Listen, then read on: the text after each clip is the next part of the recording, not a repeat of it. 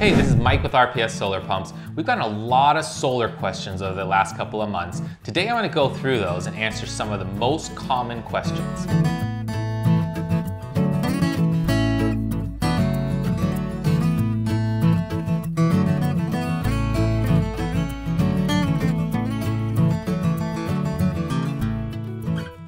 Today's question is, how can I utilize my solar pump system 24 hours a day?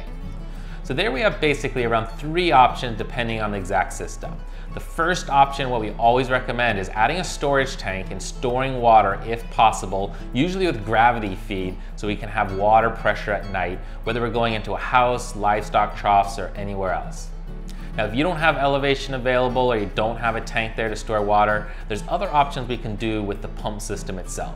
So with our smaller systems, the RPS 200 through 800, we can add batteries to those. Just adding batteries to the system doesn't allow it to pump continuously 24 hours a day.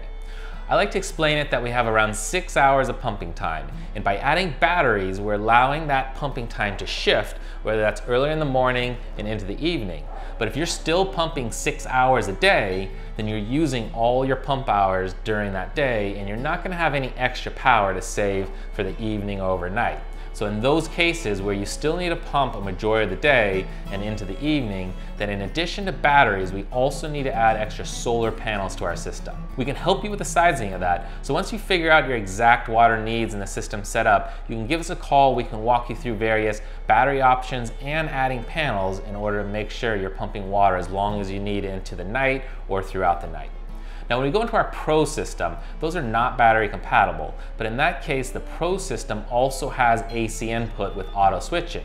So the great part of that is during the day, when there's enough solar, it's gonna switch over to solar and use all of the solar power available. And then in the evening, once there's not enough power in order to pump water, it's gonna switch over to AC.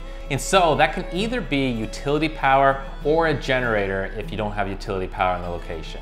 So with our RPS 200 through 800, we also have an auto switch system. It's just not built into our controller. So if you need the auto switch system, let us know. We can get that over to you. And that's gonna do the exact same thing. During the day, you'll pump on solar, and at night, it will automatically switch over to utility power.